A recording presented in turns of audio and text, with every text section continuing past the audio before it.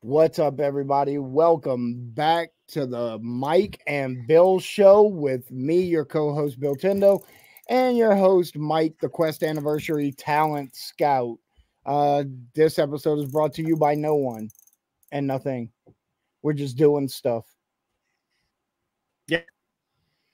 Very important anniversary coming up, Billy. Less than a month away. Quest anniversary. What is it? Quest anniversary, Billy? That's I what's talk about it, Mike. 26? Yeah. Yes. So last year I procrastinated. Well, I didn't procrastinate, but I tried to plan everything the week of because it fell on a weekend. That seems And like it- a poor idea. It did. Yep. I ended up being on like six podcasts and had a bunch of stuff all happening that week. I'm not doing that this year. So I'm just going to do the whole month of June quest stuff Uh huh. and spread it all out. So I'm also trying to get a hold of a bunch of extra people early. So I'm now the Quest Anniversary Talent Scout. So it's going Except- pretty good overall. Yeah, we've got some artists, some people that want to donate some products. Um, a bunch of people are going to be streaming. A bunch of friends um, are making videos and stuff. So there'll be a lot of Quest content for the month of June. June. Have you had your interview with E Starland yet? Did that happen on your other show? Had it has not happened yet. Uh family in town for them Gotcha. right now. Uh I don't want to reveal too much Oh, about yeah, it yeah. because I'm I'm I'm framing it a certain way, Mike, you know, because uh the person that does all their social media is never out front, you know. At, like it, it's all about the accounts and what they're doing for the accounts and stuff like that. But like nobody knows who that person is really. So I kind of want to like talk about that, you know, what it's like to be a popular creator that uh people see your stuff all the time and don't know really much about you. So Sorry, Billy, I lost you for a second. You froze up. That's all right. I was just saying I'm doing a story like behind like the, the man behind the curtain, you know? think you froze again, Mike. Gotcha. Yeah. Yeah. Yeah, they told me that they uh were looking forward to this weekend when they could have their peace and quiet and silence again. So yeah, Yeah. Well, um, also, uh, I was supposed to do an interview yesterday, and uh, man, I've just been so busy and all of that. I, I didn't get around to it, but uh, pretty big gaming, pretty big gaming creator. I mean, like the the biggest gaming creator that I've had yet for sure, or creator at all. I did um well, you had Uh, Ride the other day, didn't you? You Tricky Boy. I watched that one. He's pretty Yeah, big oh. now. yeah, Tricky was pretty funny. I I really enjoyed him. Um so uh and I also did they call me Hat Guy. He's got like 40,000 YouTube subscribers. He gets really good um views and stuff like that, but he doesn't really make video game content. He does reaction content, you Yeah. know? So and uh obviously I asked uh, a friend of the show, someone that's been on our show before uh, in the first season, Steve Casino. So Yeah. Steve Steve's gonna have some free time this week, and uh, we're gonna do that. Um, I actually had one person turn me down. Straight up told me no. It wasn't somebody I like suggested, was it? No, it didn't come from you. No. That's how I know. I'm sending it in the private chat. The person that said yes is already up People. there. I don't know the- that person. What? Yeah, I know who that is. So that's the person that told me no. Um, friends with a friend of ours.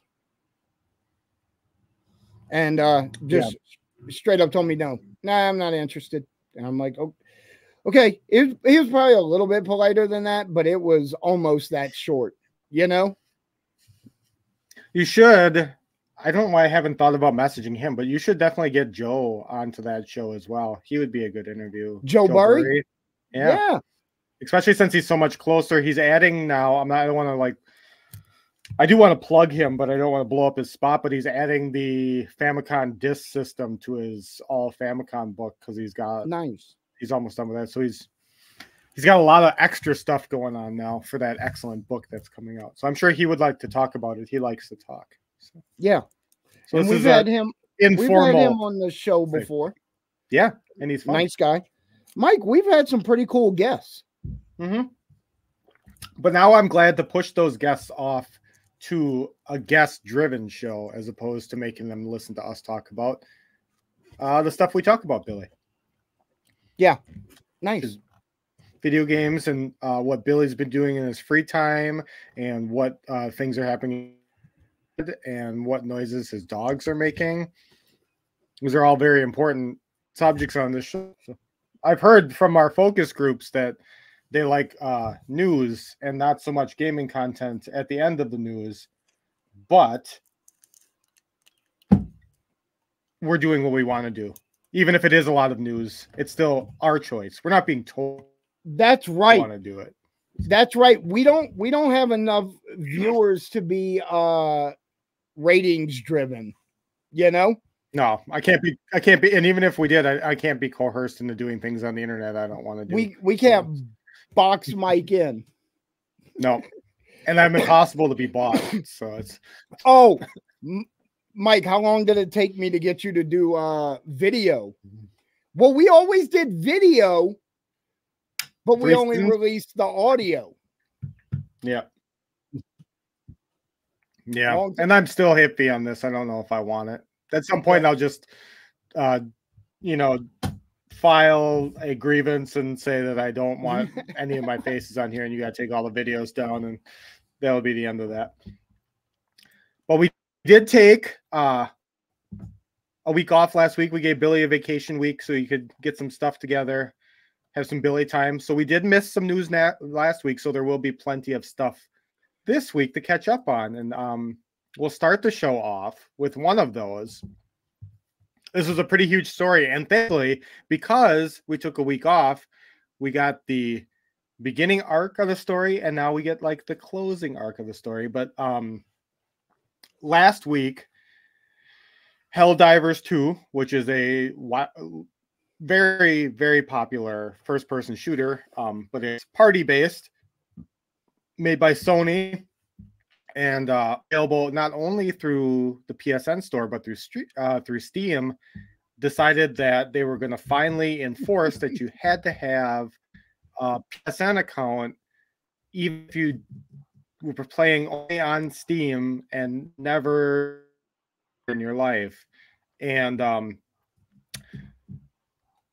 they so it was a big stink because one the terms of service like the you know the end user license agreement. Since the game came out it's just been very small you know and you can miss it. It's like skipping over any other thing you know that you agree to. Um but it's more a problem because one they didn't enact on it right away. So people were allowed to buy the game on steam without having a psn account and that went on for months. And then two that's dangerous because there is um, a huge number of countries in the world that do not have access. So only 73 of 190 recognized countries in the world have access to the PlayStation Network. Even there's like 10 countries that are just in Europe where it doesn't have it. And a lot of those places, like um, Lithuania and, uh, you know, like Balkan countries and stuff, don't have it. So that's a bunch of player um, base that's being chopped out of the game. Well, after a couple days, uh, PlayStation backtracked and they said, "Yeah, we hear you. Um, that's our mistake. We're trying to understand the PC players base. We didn't know that it was, you know, that this was the way it is, and that we were screwing so many people. So we're not. So they backed it off entirely. But now, overnight, um, the Helldivers 2 devs all of a sudden got a bunch of notifications that Sony is still locking now instead of forcing them to have PlayStation Network. Sony is manually locking countries out of the world, uh, uh, like worldwide countries, from buying games. So Estonia, like I said, uh, Latvia, Lithuania, all happened last night.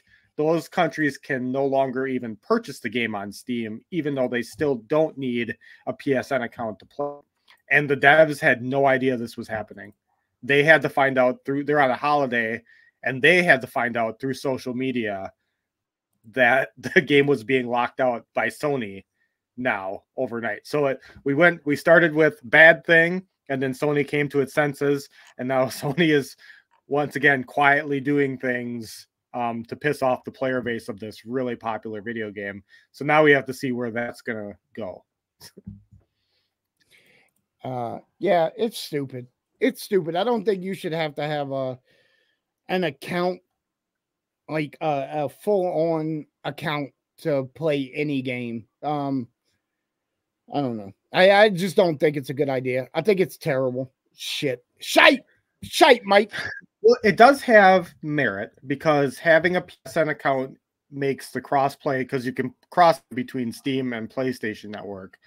So having the PSN account and having that like that makes the crossplay a lot easier, the matchmaking and all stuff like that. Okay. So so so it so, so it does not, it does go ahead.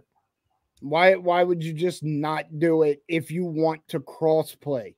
I, I don't think it should be required. Now, if you want to, if, if it's required for certain functions, like crossplay, that makes sense. But required to play it all, yeah. Well, they didn't. It was so it's a game problem. Sony wanted to implement the PSN requirement at the beginning, but that broke the servers and they couldn't figure out why. So they spent a little while trying to fix the servers and they pushed off the PSN thing. But what they're slowly figuring out, you know, while they're still letting people play the game, is that they still don't have their they still don't have their stuff together, Billy. So, so uh, they were hoping that making everybody have a PSN account would fix a lot of that. Um, and it's they but they can't fix it if people aren't playing, and it doesn't matter if they fix it if people can't play.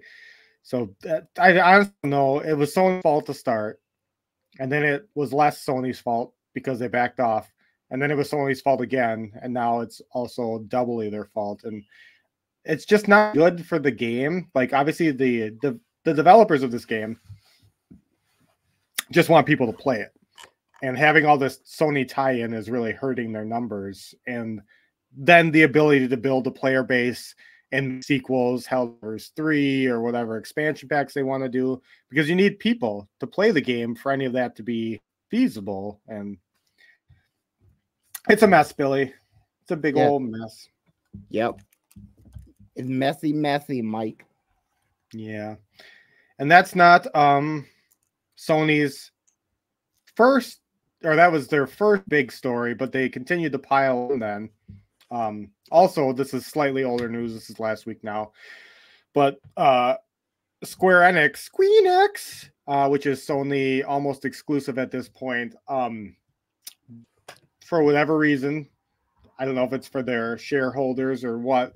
Um, they came out and they publicly announced that they're going to abandon the production of previously greenlit HD console games to the tune of 140 million dollars. So they didn't say all of the IPs that are being abandoned, but they're chopping out a bunch of games that were in production to focus on other things. Basically, what I understand is they're chopping out um lesser IPs and only working on major IPs, which is problematic. It's it's um it's not just them. All all the game studios do it. I mean, you right. see Activision they they only concentrate on their larger titles, their larger IPs. They have so many like mostly abandoned IPs that they could be doing great things with. Nintendo does the same thing. You're going to get a new Mario game every year.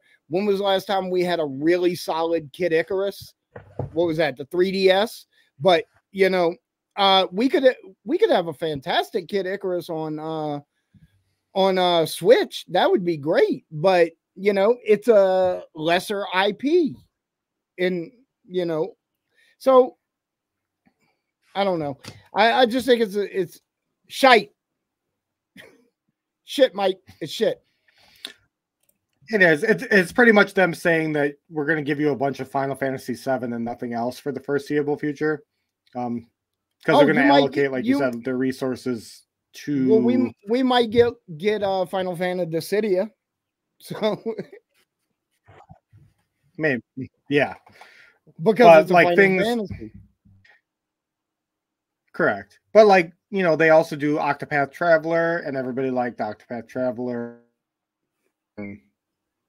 When that came out, and that I mean, things like that, like passion projects, are probably, um, that's probably it.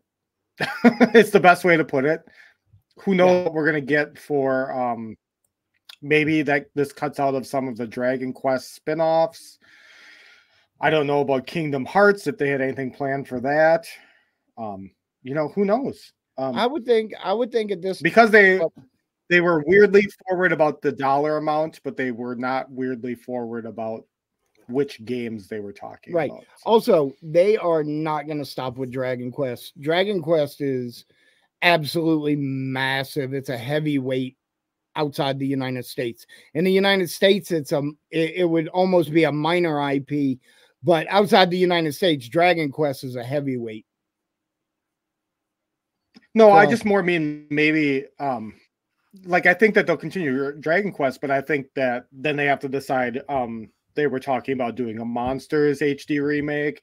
They're all doing new builds games now, um card games. Like there's all the spin-offs of Dragon Quest. And I have a feeling that some of that is going to end up being on the chopping block and then focusing only on um this player and then the online so maybe builders maybe builders survives because that's pretty popular with the Right. online community but Well, it, Yeah, it does it I mean, does do companies even care about online communities anymore? Look what they did to Little Big Planet with a PlayStation. They just dipped it. well, yeah but that's an older game too Yeah. yeah That's true. you, still- you still got to make money though monthly subscriptions make money so you want people to pay for your online service you have to have something to play online so at least that's what i uh, hear i don't play video games online so Yeah, me either. Um, people think I'm kind of weird for it, but I don't. It is what it is. Whatever. i'm being i'm being facetious i do but it's all like really like i play like animal crossing with my friends or like splatoon occasionally but nothing like that the switch is the only system i use online. Um i used to play a lot of the tanks but i haven't done that for a while because i just looked at the update and it's like 60 gigs for the next update. So i've just been staring at it deciding whether i need to take a vacation to update my favorite game so.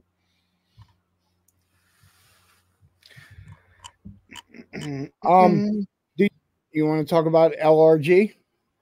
sure. So, uh, this is news from last week. Uh, Limited Run got busted uh, with their 3DO games, specifically D, I believe it was. Um, D for dracula Yeah, but it wasn't a pressed game. It wasn't a professionally pressed game. It was a burned CDR made by TDK. Um, you know, it, it really gave the vibe that uh, they're like, if we buy blank disc and we could pay this guy a hundred dollars, we can charge 60 bucks for this and he'll make us, you know, the 5,000 copies or whatever. You know, it, it really it really gave off the energy of uh how cheap and shitty limited run games actually is you know Yep. And then they came back and they were like oh we didn't realize you know we'll be uh replacing those with press disc no you knew what you did um lrg limited run games has a pretty uh hefty track record of doing shitty stuff they they knew what they did, and Yeah. they're gonna Oh. replace it because they caught. But um, and now there's a um game they have coming out. Uh, I can't remember the name of it, Hi-Fi or something like that. And the company that developed the game actually just uh closed down. Well, they didn't close down. X Hi-Fi Rush is the Hi-Fi yeah, Rush. Yeah. But they didn't close down. Xbox just axed them. They were one of the studios. That's another news story we have for today. But Okay. yeah, Xbox chop chop. They bought up that studio and then they chop. Now they cut them. So Yeah, and Limited Run said they're still making the game. Yeah. But you know, I know I know people that have waited two years on a game from Limited Run, so definitely don't hold your breath. The the earliest I've ever heard of somebody getting something is six months. I've heard of people like ordering in stock items and it taking three months to get to them.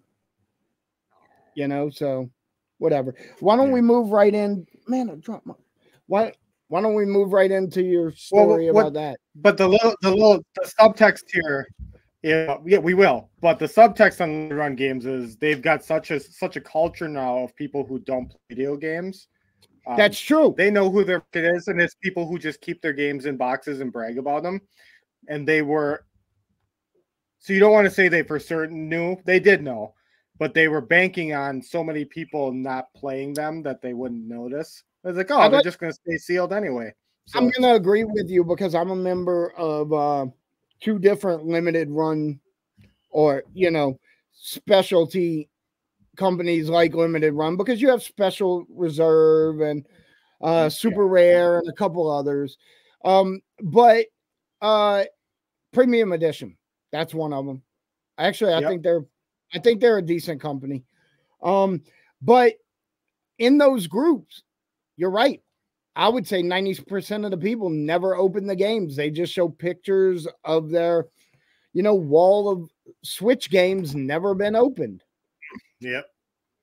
Yeah. So, So- that's the the implication is is that they don't care. They do they do care about their sales and they do care about the happiness of their customers, but they don't care so much about the functionality of the game, all of game reservation or any of that stuff. They only care Well, about um, right. And that was the original lie. numbers and That people was the being original lie that they told was that they were all about game preservation. Um, Yeah. if you're about game preservation, number one, you're not going to be doing limited runs of games. You're going to do as many copies as people want. Number two, you're not going to put out uh, a collector's edition of Among Us without a game that you have to download the game. You know what I mean? Like at this point, you know, we all know you're full of shit. Um, fuck limited run. I don't care. I'll just say it. Fuck them. No, F 'em they, in, F that's 'em what in that kind of the feeling. Yeah. yeah. Um, not a fan. Uh, also, they sent out that Doom. I think it was Doom last year, and most of the cartridges didn't work for Switch, Yeah. and then they had to replace them. It's because you're right. Most people that buy from Limited Run are not going to open the games to begin with. So how are they ever going to know that their game doesn't work or that it's a fucking that somebody burned their game on an HP Pavilion from 1996? You know. And then, I mean, they have other problems too. Even the people that they do um, please, which are in general, um, the N64 community likes them because they've reprinted some cool stuff. They did do Worms Armageddon, um, which is an expensive game. So it was cheaper to buy the limited run one than to hunt a copy of Worms Armageddon. But uh, some of the people that got Worms Armageddon ended up getting the Game Boy Color version in their N64 box instead of the uh, N64 cart. Was found out immediately because a lot of the people who bought the N64 version was to actually play it because of the expensive costs, and they were getting the wrong versions of the game. So even the people that they do make happy, um, It takes still- a couple tries. yeah, they still find their ways to, to and then they're, you know, like you said, there's a bunch of other preservation otherwise. I don't need to I I I I spew about that enough where it doesn't need to have their own thing today. We'll go back to Xbox. Um, so the studio we were talking about was Tango Gameworks. Um, Billy brought up Hi-Fi Rush. They were one of so there was a, a point where Xbox was buying everybody. Um, what is this, two years now? Probably. Um, where they were buying, they bought Obsidian and all those, you know, all the other stuff that they were buying because they said they wanted to put out games that that win awards. You know, they wanted to to like do things that made Xbox look great, and they did. Um, Hi-Fi Rush was one of them. It was critically acclaimed. Everybody loved it. um, but yeah, now they are doing the opposite. They're um nobody really knows what the direction is right now. They're laying off a bunch of studios. Uh, they're making games less exclusive.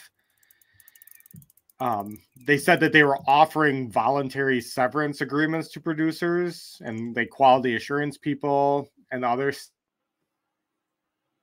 I guess mm. people were taking them. I don't. But the whole Hi-Fi Rush thing is weird because that was they specifically bought Tango for games like Hi-Fi Rush, and then Hi-Fi Rush won awards like they wanted, and now they're cutting them. So nobody really knows what exactly Xbox is like, what's going on, or what they're thinking about, or what the next step is. Um, but the assumption is that uh, regardless of what they say moving forward, that they're going to be primarily a online service and just offering um, a plethora of media as opposed to a game company. So, well, that I think that's not good, uh, and I'll tell you why. Let me let me just say this up front: it's shite, it's garbage. But let me tell you why. Um, I know I'm I'm full of negative vibes today. It's just because I'm tired. I'm sorry, but um, so the one like OG Xbox had some really cool uh Xbox exclusives. And then the Xbox 360 had a couple. And then name me five on the Xbox One. You really it, it's a struggle because at the end of the day, the Xbox One is a AAA machine. You can get almost everything on Sony, on Steam, on PC, on Nintendo. Um, there enough so that you don't care about missing the fact that they had four or five exclusives. Um, whereas Nintendo is built primarily on their exclusive IPs. Um, and Sony has been doing a great job over the last few years of building up their exclusive IP library. Um, I, I, I think, you know, if Xbox just wants to be a publisher, why do they even need a console? You know? I hear you. There are still good Xbox games though. Like um you know, Rare Replay or anything attached with Rare was still Xbox exclusive. Um so Sea of Thieves, which is just now like we're like eight years after Sea of Thieves or nine years, and now PlayStation can finally play that. But you know, like Forza is a pretty good company or a pretty good IP for the company. Right. Um I don't know, like they did Sunset Overdrive. That was Xbox exclusive. I think that they still know how to make good games. I just don't think they have direction anymore. They don't have like identity anymore. Um, like you know, like you said, Xbox, the identity was Halo. Uh, 360, yep. you know, it was. well, I mean, it was still Halo on the 360. Let's be completely honest. But oh, then yeah. it was also Forza got really big on the 360, and all those other their their second and third tier franchises all got um, boosted by that. So, um, and now they don't like you said they're a, they're a AAA company, and they just they're pumping their service, their online service, and they should be. Their online service is good, but you have to have something for people to play. Like it can't. Yeah, but at the end of the day, can the they just Call of Duty game or yeah, but can they give us a, a Viva Pinata too, or a, a Grabbed by the Ghoulies too? I'll take those. Well, there's already two Viva Pinata games, Billy. Actually, there's three if you count Party Animals too. But I yes, haven't. they should do another one. Yeah. they could do more. Yeah. Also, you know, don't defend them. Don't defend Microsoft too much. They also made uh Rare Studios do all the Kinect games instead of working on a new Banjo Kazooie or a Banjo 3. They had them making Kinectimals. Well, they did make them. They said they wanted them to spearhead the the Kinect thing, and then they Rare the original. Well, by that point, uh, guys like Seaver and the Stampers and the, are were already on their way out. You know, people are like, "Why isn't there a new banjo game?" Um, I mean, the there is. Made, it's called Yooka-Laylee. Yeah, but the people who like were originally involved with Rare, like the like the original Yeah, they're gone. are all well, they're old, dude. Like we're Yeah. old. You and I are old. They are 20 years How older than us. Like the Stampers are in the 60s and 70s. You know what I mean? You can't you can't convince game companies to make the same game for 40 years. Like Eh, that works if it's first party, but when it's like rare, where they're uh, like they've been a second, third party, that they're they want to do what they want to do. So the younger generation of development coming up through them, like, look, they made Sea Thieves and it was awesome, but nobody cared when it came out because it wasn't like you said, it wasn't Banjo Three, it wasn't Conker Super Mega Ultra Reloaded Swear Edition or something. It was things that they want to make now instead We of things that they're popular. for. We don't need another Conkers. I don't care what anybody says. Well, that's what everybody says, Billy. It's not anybody. That's what everybody wants. Ah, that's because they like watching movies with fucking mid platforming gaming at best. Yeah, well, that's what the people want, Billy. Um, but anyway, more Microsoft news. Um, so Sarah Bond, who's the president of Xbox, um, did an interview. I believe this was yesterday now. Yesterday, two days ago. So amidst all of this wishy-washiness with Xbox, um, she um, was talking about she thinks that they're in a better position now than they have been a long time, and she believes that their engineering and building um, is going to make the next Xbox console the biggest leap ever in next gen hardware uh, with both power performance and with their online service. Um, they want to focus on making delivering the biggest technological leap ever in a console generation for their next system. What do you think about that, Billy? Um, let's see what happens. I mean, where are we leaping to at this point? I mean, what specifically are you asking, Billy? I mean, like, uh, aren't all the major leaps done at this point? I mean, you they could make the next system so good that it outclasses the same generation of PCs. Great. They're gonna half make. the. They're gonna. They're ma- gonna make a console that looks. The characters look real life. eh, eh, you know, indistinguishable. Except for some reason, it's gonna be saturated in brown and gray. So, and muted blues. Who gives a fuck? Billy, that's a little. I mean, Microsoft is also.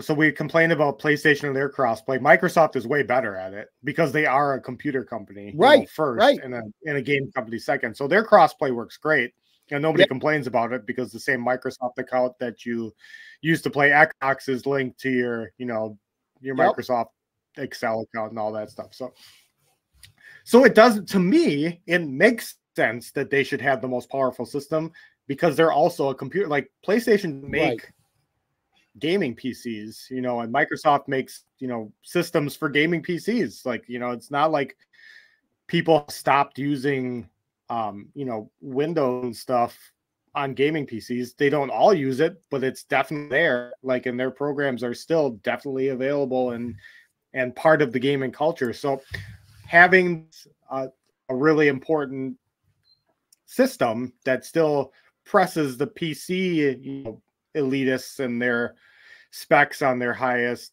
end stuff, you know, that they brag about every year. Um, I think that makes perfect sense to give people who don't want to get involved in in home computing the ability to play games at you know 120 frames per second and all the other stuff. So you know whatever. To me, it's like if their long-term commitment is to cross play and that cross progression and all that stuff and whatever else, cloud saving across things and all that, then make home console ridiculous. Just do it.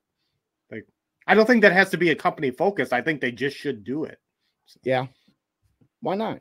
They're a computer company. They can do it.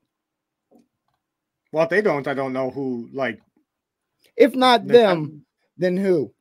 Well, that's what I mean. Nintendo's never going to like put PlayStation and Xbox. No, They're gonna do their own Nintendo. Um, Nintendo is traditionally almost a full generation behind on specs for every console.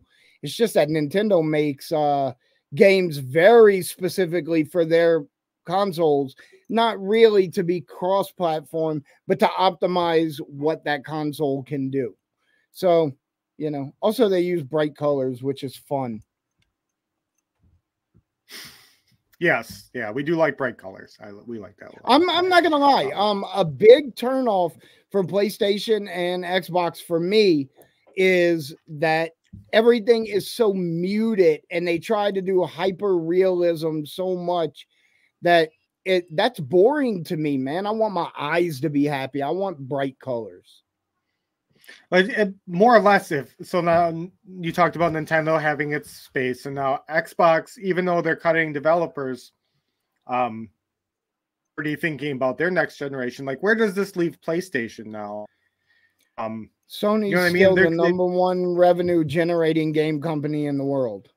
Correct, but like identity wise, like if they're chopping their com- their you know IPs as well, does that just make Sony the the the Final Fantasy Seven maker? Like, what are like what are they? I don't know. I don't know what's um that you can buy you a God of War machine.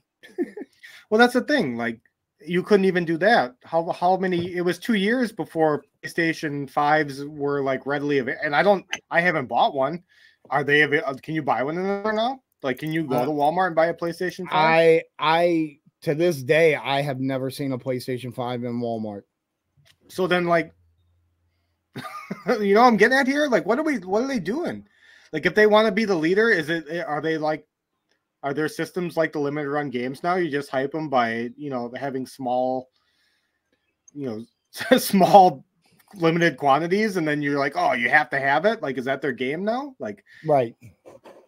I don't know. Um, I, I feel like it's really weird that um they smashed Xbox in uh people wanting their system as far as the PS5. And to this day, I don't feel like there was ever enough on the market, you know? Mm-hmm.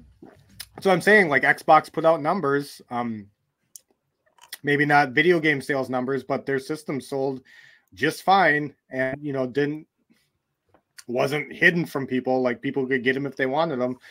That should be your first thing is if you want people to do your online and play games you got to have them available you know. right. So all right let's move away from video games a little bit. Um did you um i guess we can well let's stick one more video game. Um were you all familiar with the Suicide Squad, the uh, the Justice League game, Kill the Justice League? Did you play any of that? Did you watch any no. videos on it? Nothing. None nope. of it. Not interested Nothing. at all. Uh, Warner Brothers heard of it to be honest. okay, well, it did. Uh, Warner Brothers just reported their sales numbers on it, and they lost uh, two hundred million dollars on that video game between uh, it being expensive, um, and then it getting just absolutely crushed in the critical review and player base uh, by pretty much nobody liked it. Um, and even well, the ones that did like it didn't really love it. They just kind of liked it. I mean, I, I, I think there's this weird thing where uh, uh, people outside the gaming industry will not let go of the fact that the licensed game heyday has been over for a long time. You know, we're not getting another Aladdin. We're not getting another Lion King. We're not getting another DuckTales. Um, mostly we're getting, you know, Donald Duck going quackers, you know, which is an okay game, but not amazing. Um, and every everybody wants to license a video game and they want to dump all this money into it but you know at the end of the day a licensed video game i feel has more to prove than an unknown video game because a licensed video game you know hey we slapping you know we're we're, we're putting disney sprites on tetris you know we're reskinning yeah. a tetris or something um so, I, to me personally, a licensed game has more to prove than an unknown game, and I, I, I just don't think people, I, I don't think the people greenlighting these games are getting that. Understood. I think that there's still space out there for them, but Yeah. I think that Good ones. more it's more fatigue at this point because one of the major gripes about the gaming industry is that companies like Warner Brothers are trying to treat it like they do their movie divisions and they're looking more at spending, you know, tons of money on visuals and bringing in um, actors for voice acting, like big name, like regular actors, not voice actors. And I think that that's where the fatigue happens is that people want good games first and all the other stuff second. And Warner Brothers and other companies are thinking about the presentation first and the video game second. And that's where a lot of the the ire has come from these kind of things. And Right. This game is a this kind of just brought it all to a spearhead because they were trying to capitalize on uh, you know suicide squad and people loving birds of prey and all that and instead you get this like wishy-washy uh mess of a game that nobody seemingly really likes so, Right. That sounds about right. Um, you know what game comes to mind when I think of stuff like that? So if you look at it objectively, it's obviously a AAA game, but I never found it particularly a good time. Uh, Marvel Ultimate Alliance. yeah that wasn't your thing No, I I felt like um I'm like obviously it's AAA. They put a lot of money into it, but I feel like it missed the mark on being a fun game.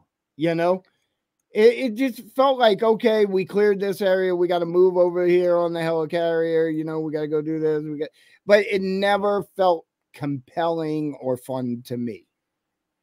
And see i always liked that series but it's not but it it was still a good game even if you didn't like it like you knew that the core elements were correct like if that style of game wasn't your thing it didn't it felt like it had less to do with marvel trying to make money and more in them trying to build a video game base whereas now the marvel games don't they're like the exact opposite they all seem like they're there just to make money to me at least so Yeah. Um yeah, like Lego games. It's all the Yeah. same. It's Yeah. all the same, just a different character. Lego Star Wars, Lego Batman, Lego City Undercover. You know, who cares? Fuck you, Lego. I liked you back when you were Man, Lego see, Racers. i like lego games though. My i have kids so i like uh, that's in my wheelhouse you know thing yeah, Mike, you got I, I just realized, man, you putting up with it today. You got a salty bill up in here. Yeah, you are a little bit a little bit sad. So here, this next story will make you even more even more sad. This is this, All right. This is peak bill stuff. All right. Um, so GameStop, uh, one of your favorite companies, has uh, added to its board uh, somebody who used to work for PSA, and now GameStop is going to buy graded Pokemon cards. Like you can sell your graded Pokemon cards to GameStop, and they will also sell them, uh, but only through Personal Sports Authenticator (PSA). And at the beginning, they're only doing cards graded like 8, 9, 10 high graded cards. That's all they're selling right now, but they are going to expand to all PSA graded cards buying and selling. So now, on top of, you know, already not really being a company that's focused on video games, even though they're called GameStop because they sell everything t shirts and Funko Pops and all the other garbage they sell in their store. Now they're also going to do cards, which they already did, but not singles. They always did packs of cards. right. um, but I So mean, now they're at- they're further muddying the waters of what they are as a company. Yep. Uh, it all started when they bought out Think Geek and loaded their stores with their products. And, you know, ever since then, you're lucky if your local GameStop is 20% games. Yes. So, yeah, why don't we whittle that 20% down a little bit and slot some Pokemon cards in there?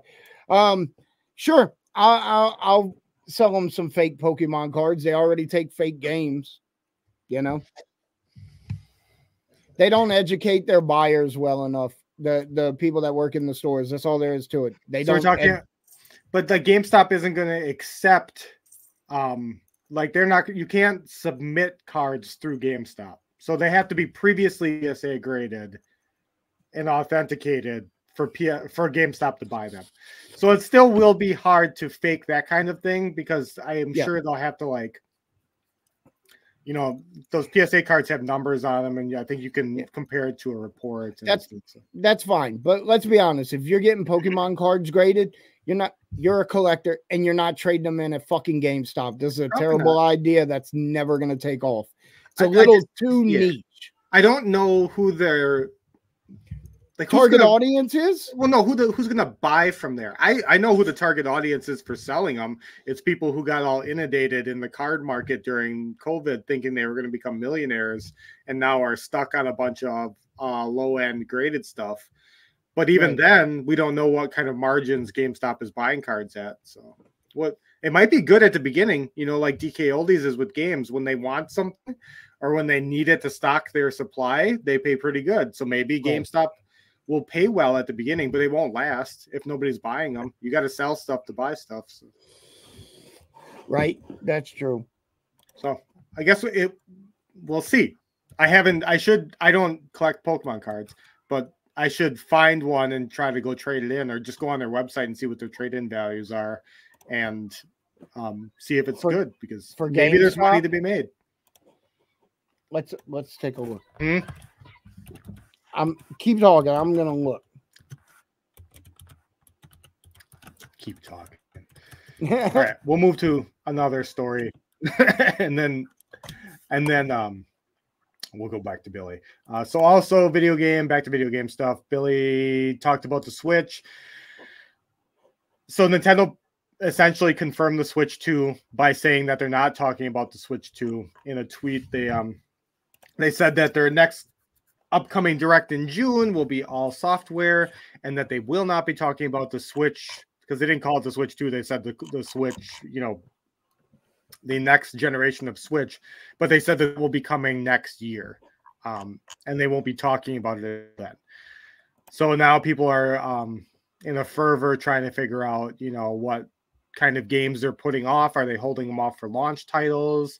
What's going to be coming?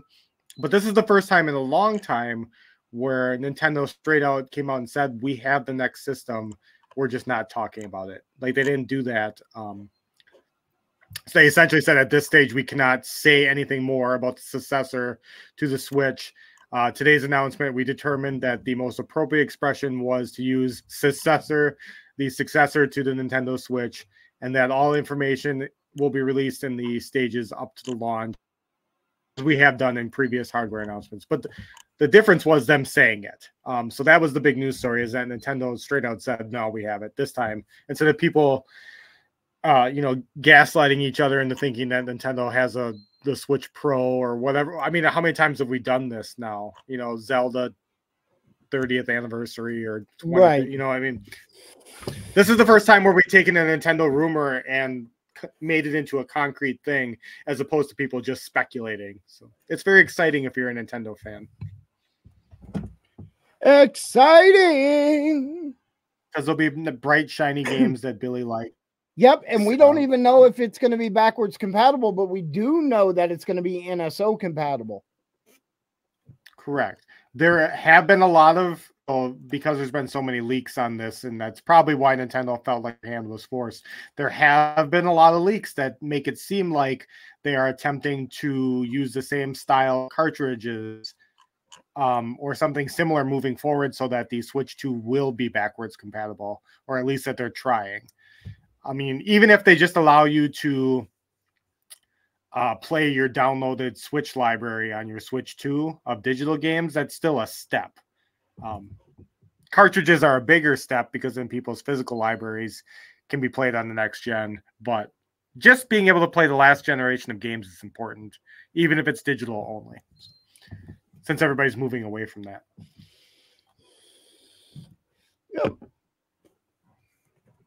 Yep. Did you did you find GameStop prices, or they're not listing them? No, I didn't see anything. All right, so they're hiding it still, Um, but that's fine. We'll catch. We'll get them at some point. A later news story. Um, we'll get it.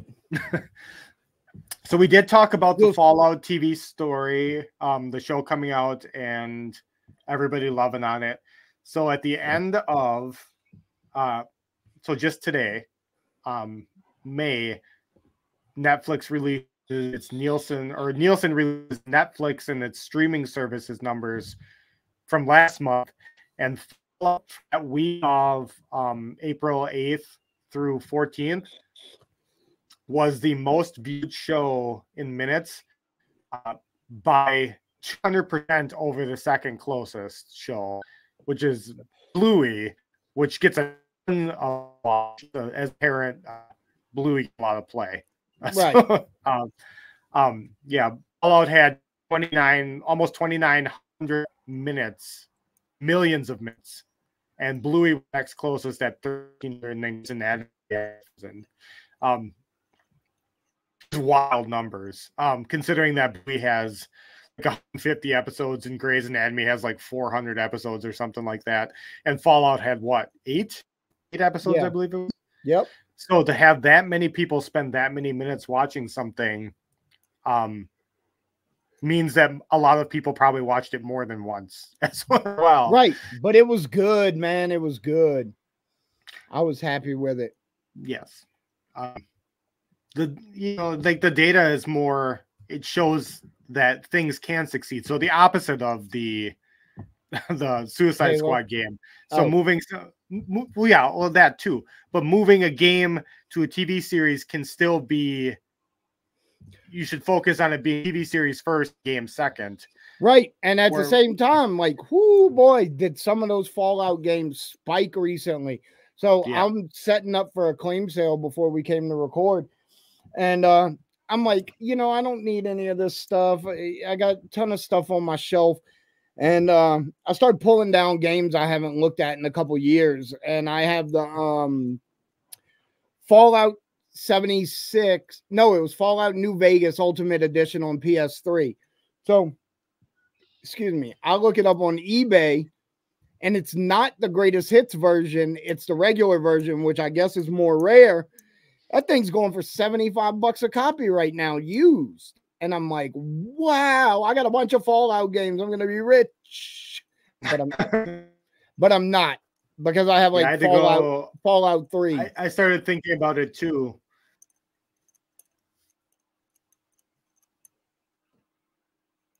Nothing.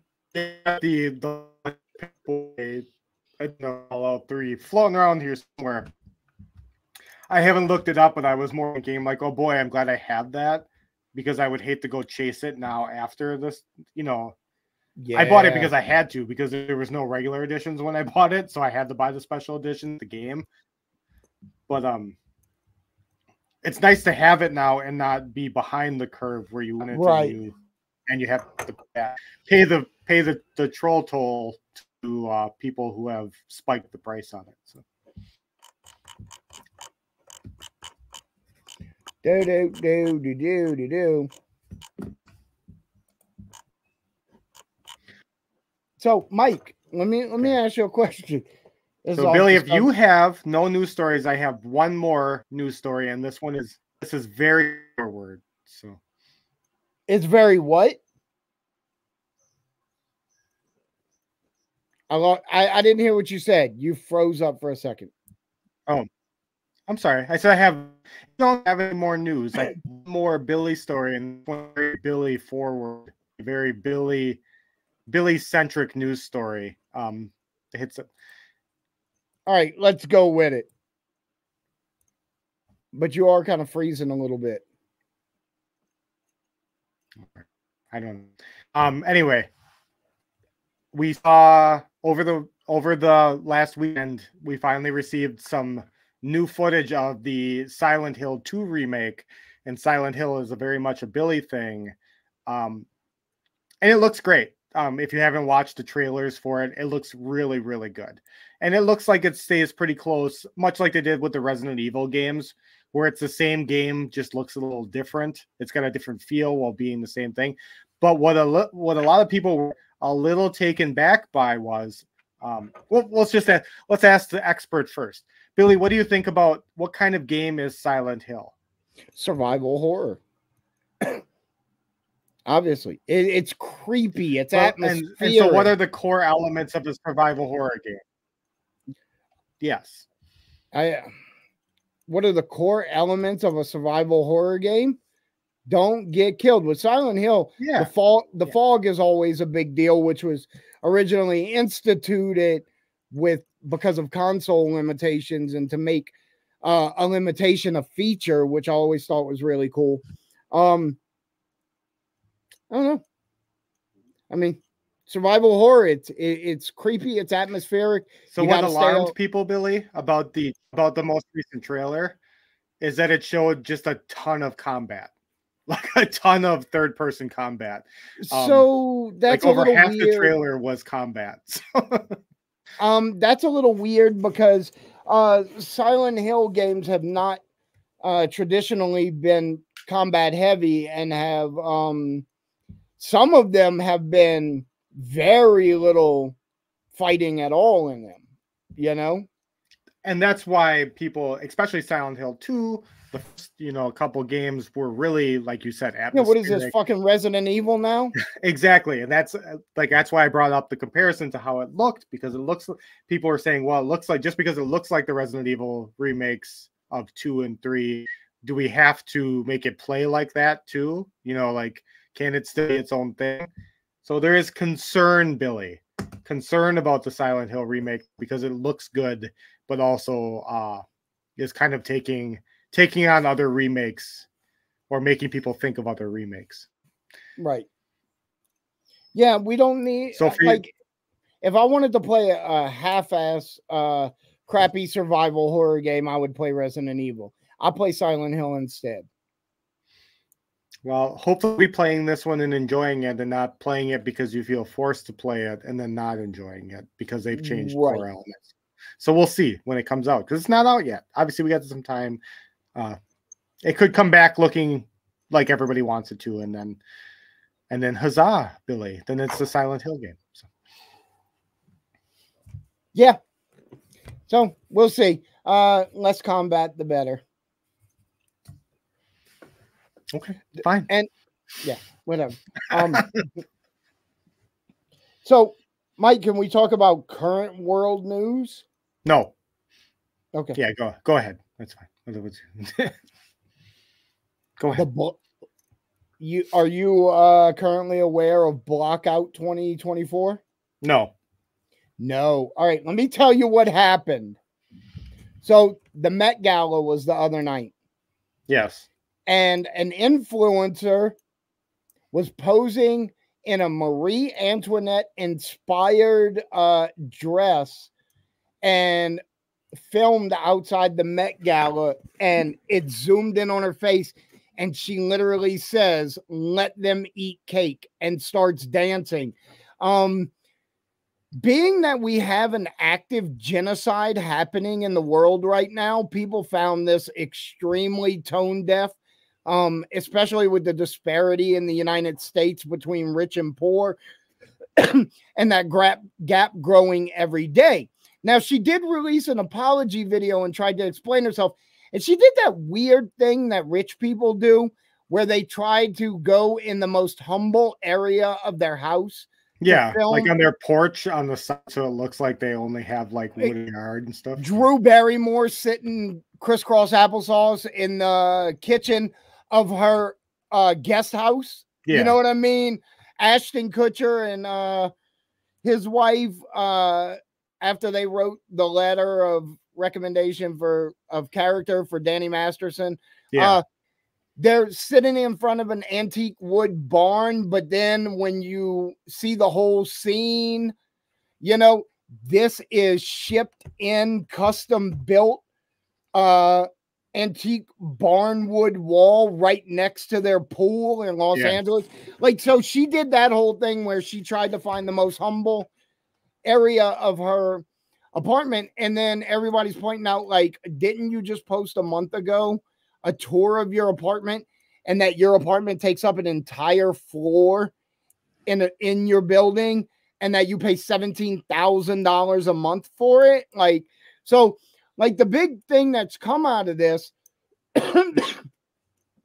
is people are like, hey, these influencers and celebrities only have what they have because we give it to them. And our attention breeds that. So the point of it is to block all celebrities and influencers. And um they're like people are showing graphs right now of like Jennifer Lopez is, who was already on the way down because of all that terrible shit. It just drops off, you know, boom, boom. Uh, all of them, all celebrity social medias are just dropping off. And it turns out, um, I saw a marketing person talking about it, and she's like, uh, I'm not supposed to really say this, and I might get in trouble from my boss, but uh, you guys block out is actually working because whether you give a celebrity or influencer good attention or bad attention, it's still attention and they still make money from it. Yeah. Right. Correct. But if you block them, nothing they're can be advertised to you. You know, if they're tagged in stuff by other people or companies, you'll never see it. Um, and so she's like, this is actually working. Like, I'm marketing for uh influencer right now, and I'm struggling to get her in front of people because of so many people have her blocked now. Yep. That that uh the input settings are saying, you know, we're paying for this much coverage. And they're like, you know, we don't have that many available people to view this content. Yeah, it totally does work. And that not just on celebrities and not necessarily just blocking, but that philosophy in general is great online. Um, obviously, I spend a lot of time on Twitter, and my philosophy has always been to stay as positive as possible. On my own content, if people come with negativity, I'm more than happy to respond to them and say, you know, you know, here's how you're feeling about this one thing. Um, here's my views on it don't necessarily line, but like I appreciate that she sent me a message or whatever like that. But I don't go chasing, which is what a lot of people do. To get your right. to get eyes on you on Twitter, a lot of people go chasing, go on other people's posts trying to uh you know contrarian and then link to their own stuff. And yeah, right. if you don't engage like with people like that, that cuts down their their numbers significantly. Uh, Absolutely. On just attention on them. And when they can't get it, they'll go find trying to find it in a different way. So yeah, celebrities having their social media cut, more likely not, will just end up to be them being more annoying, more commercials, or uh, showing up on more talk shows that they wouldn't normally do, or whatever. Um, on shows like Billy, they'll be trying to get on Billy's show to, to be on YouTube and stuff. So. Right. Yeah, it yep. does work. It does work because money talks, dude. Oh, like, dude, do you remember during the pandemic, uh, Gal Gadot's uh, Imagine video of all yeah. the celebrities trying to be like, we're just like you, locked up in our houses too, except they live in these fucking palaces and they're all singing John Lennon's Imagine. I remember the morning that video came out. It came out, I saw it like probably within 30 minutes, and I sent it to Dallas and I told her, I said, the fucking hey, please look at me because we're not in the spotlight energy in this video is like radiating through the phone. And I'm like, people are not gonna like this because it's really giving off that vibe. You know, there's a worldwide pandemic, but please look at me, you know. Yep. And uh by the next day, and even to this day, it is regarded as one of the most uh tone deaf, horrendous things a group of celebrities have done publicly. So I didn't have this on the docket for today, but you got me thinking about it. Did you see the new? Do you um, want a docket? a little bit. uh, um, did you see the new? Did you see the new iPad show that just came out two days ago? The new what? The new iPad. The new iPad no, Slim. No, I do not pay attention to Apple products. They're a complete rip. Well, the it's not the product; it's the commercial that's getting the headlines. Oh, okay. So it's, so it's um, uh, you know how there's all those press videos where like there'll be uh, a hydraulic industrial hydraulic press that just like slowly crushes things. Yeah, yeah. Like oh, I love those videos. Okay. And you'll love this because that's their whole. That's the whole commercial. Is they take there's like a whole like like an artist studio with like paintings and cans of paint and then uh like a whole like studio set for um like a band like a drum set and a guitar and all these other pieces of like musical equipment and work and they t- and the whole they put it under an enormous hydraulic press and they press and destroy all of this stuff Oh, no.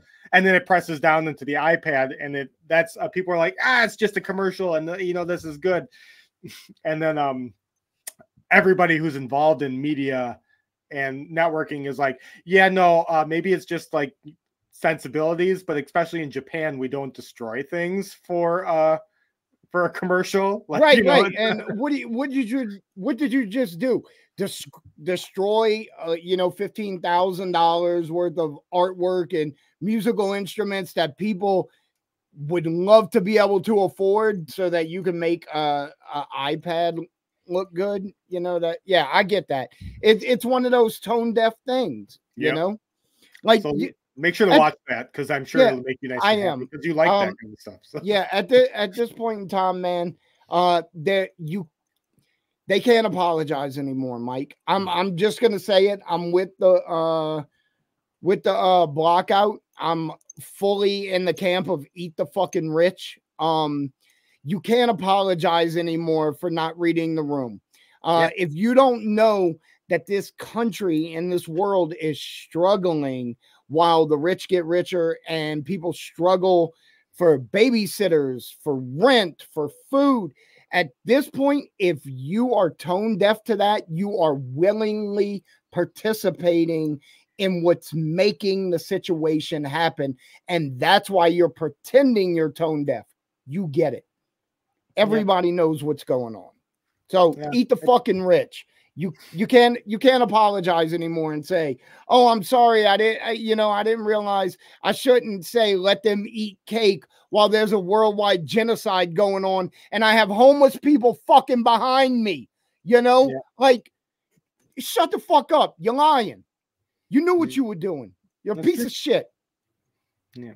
Right. instead of doing that, I mean, personal to me, instead of um, you know, listening to social media influencers complaining about not being invited to the Met Gala and all that stuff, um, so many more today, like actually today, even though we're recording this today and it's not being released today. Today is the USPS, the Stamp Out Hunger Food Drive.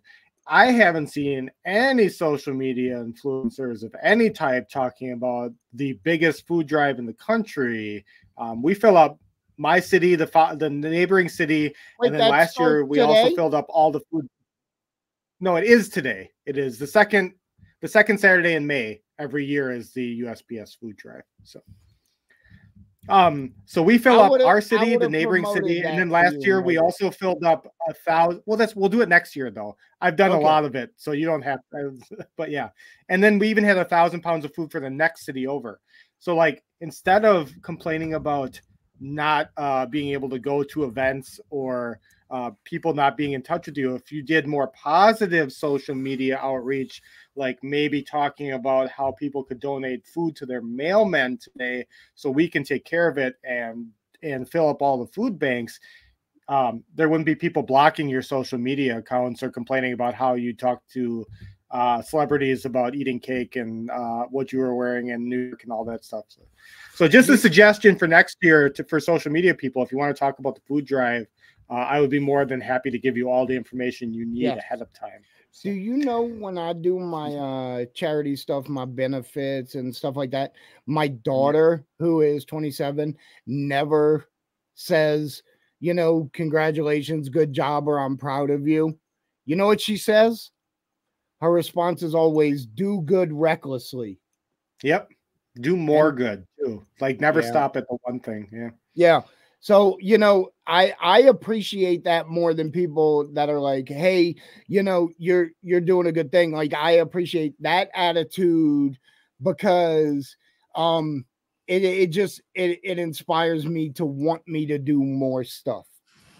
And you should. whereas And whereas you're good at uh, it. huh? You're good at it. So you should do more stuff.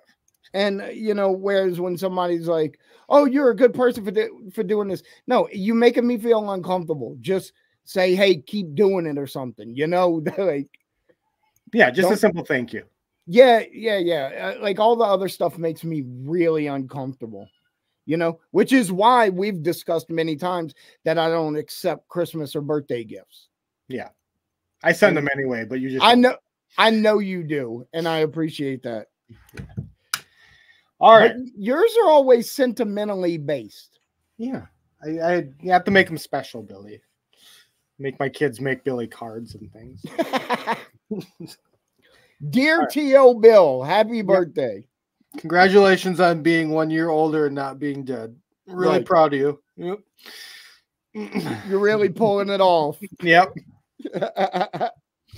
Well, that's our show for today. Maybe we'll have a subject next week. Um, Maybe not. we'll see. Maybe. Just maybe.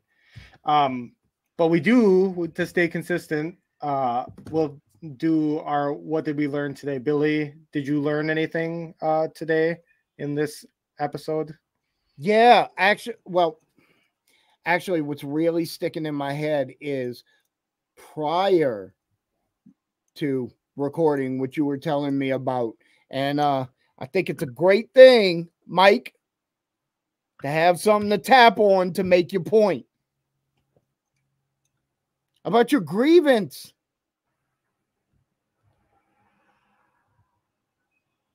Okay. I lost. Sorry, I lost you for a second, so I Oh, didn't hear what. I I was saying- that I learned that it's really good to have a visual aid to tap on to make your point. And I was talking about your grievance. Like that I, I mean it was prior to the show, but it's really sticking in my head that you know you need that visual aid. You know? I do. That's yeah, and that, that's why I can't. uh I can't. I always like get lost in that thing behind you too. Your only aesthetic thing. Um, Yeah. I'm always like your, your water bottle there really bothers me. Like I can see your very real water bottle against your very fake table behind it. Like not the Oh. table that it's sitting on, but the one behind it. Like it Yeah. always like I always wanted to like move from one to the other, and I just like I probably lose more time thinking about that than I do. Yep. Oh. well, one day Yeah, I'll have I- a, a, a real studio and not the green screen studio. Um, I actually been thinking about that a lot. So, um, I have a big enough room here to really hook it up, but you know, just time. So, what did you learn today, Michael? I learned that uh, when Billy is angry and tired because we had to switch the day that we're recording stuff because Mike gets called into work on USPS food drive day, that he's kind of angry the whole time until he wakes up when he's talking about how angry uh, rich people and wage gap disparity and social uh, uh, social blight bothers him. Then he wakes right up. We go. We can we can talk for 55 minutes about stuff and him just be angry. But then when you talk about rich people, Billy gets really angry. So now I'm going to use that to my advantage in the future. oh, because Bill's a real eat the rich guy. Look, the American dream is phony, yeah, Mike. that's I'm going to. Mm-hmm. They they sell us the That's good. I, American. I like I like it. I like your energy, Bill. It's they sell us the big, American big Bill dream. energy, and I'm here for it. They sell us this American dream that we can be a billionaire, so that we don't stop them from doing what they're doing. Because in the back of our minds, we always think that maybe one day we could be one of them. When in reality, everybody in this country, I would say 90% of this country, has more in common with the homeless person than a billionaire because you most people in this country are only three months away from being homeless. If you all if ev- if everybody lost their job right now, 90% of the country in three months, 90% of the country would be fucking homeless. You have more in common with a homeless person than a billionaire, but they sell you this dream. Don't regulate the billionaires, don't tax them, blah, blah, blah. Because why? Because they make you think that maybe you can be one of them. You're never gonna be fucking one of them. If you was gonna be one of them, you'd have been born one of them. See, this is what I'm talking about. I didn't even have to. I didn't even have to prod you that time. You just did it. So now I- I'm gonna do. I can use. I can use this all the time now. I'm really excited for the future prospects of me irritating you when you're not excited. So All right. Well, you know, fuck it. So this was a great show. Uh, look forward to more episodes of the Billtendo Show, uh, where Mike uh, uh, pokes at Billy and his uh, cultural sensibilities and the things that bother him because it gets a better uh, reaction out of him in the show. So I'll be in that in. Look forward to future episodes. All right. All right. We'll see y'all next William. week. Yes. Have a good night.